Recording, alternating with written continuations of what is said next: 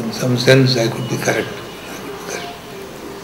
So, development as a as an idea, as something which could be pervasive in a national activity, is an idea which uh, definitely came from the West.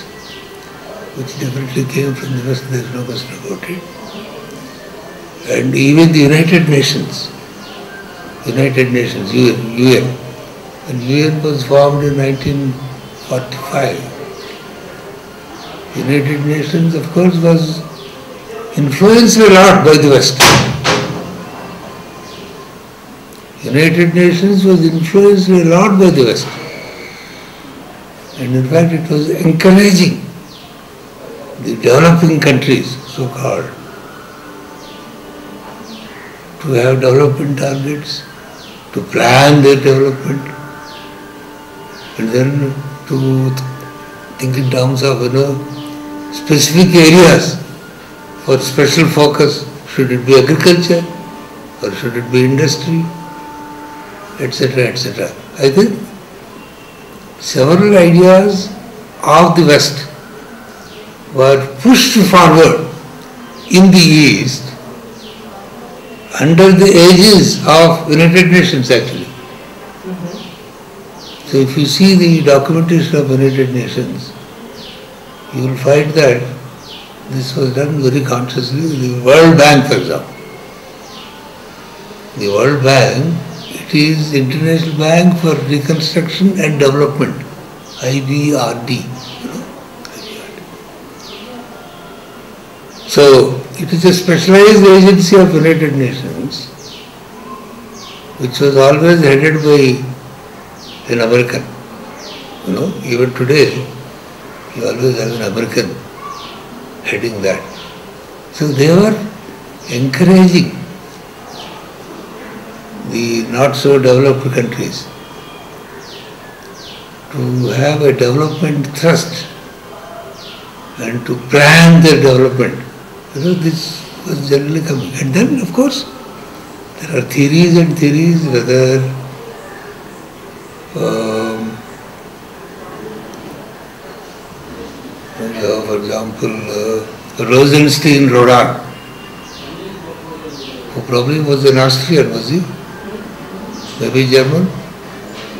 Maybe, yeah, yeah. So whether it should be balanced growth or whether it should be unbalanced growth. So the, Nurkse, Ragnar Nurkse, for example, he was probably advocating balanced growth. And then there were others, Rostow, Rostow's theory, you know, uh, the takeoff into sustained growth, etc., etc. All these ideas came from West, but the original impulse came from uh, Soviet Union. I still think.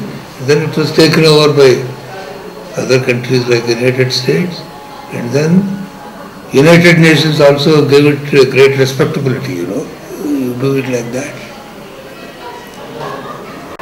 Um, and most important of all,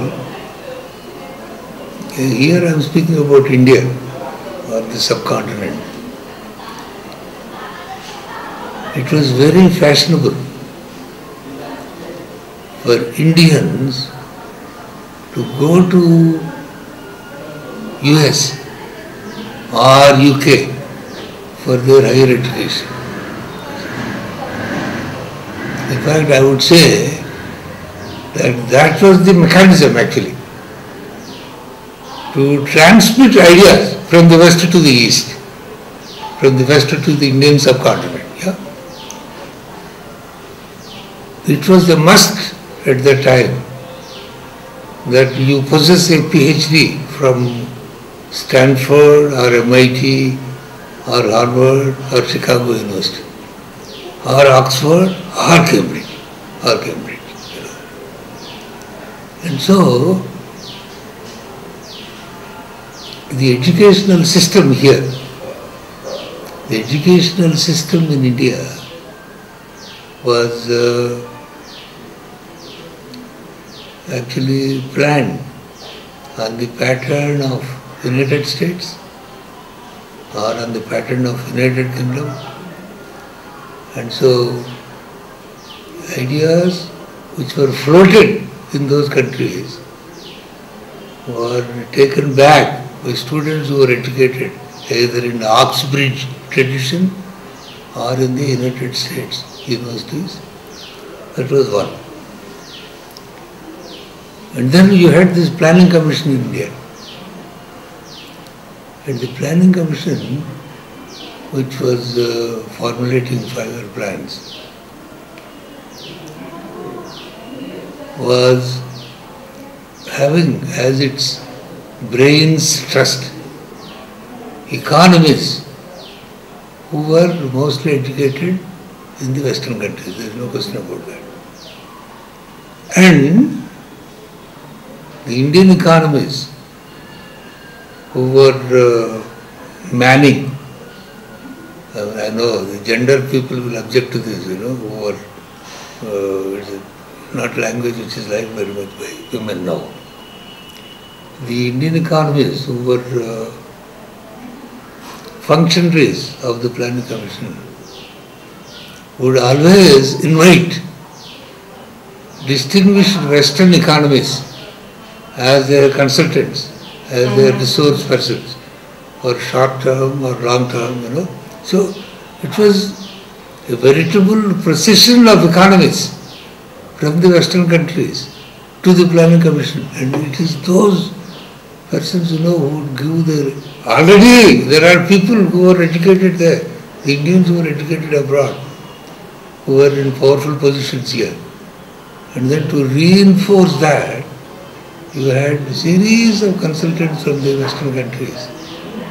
And they were, you know, some suggesting balanced growth, some suggesting unbalanced growth, some suggesting key sectors, some suggesting agricultural growth as more important than industrial growth, etc. etc. So, the influence of uh, Western countries and Western ideas was very, very clear in the first decades of Indian planning.